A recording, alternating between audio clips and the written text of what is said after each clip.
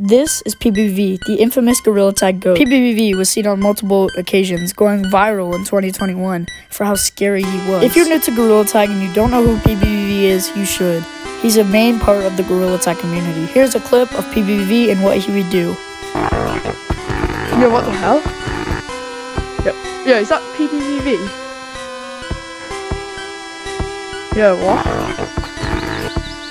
Yo, nah, nah, nah.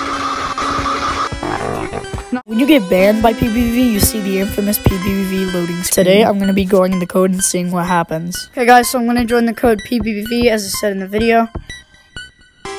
PBBV. I'm going to cut this out because it takes really long to get in codes.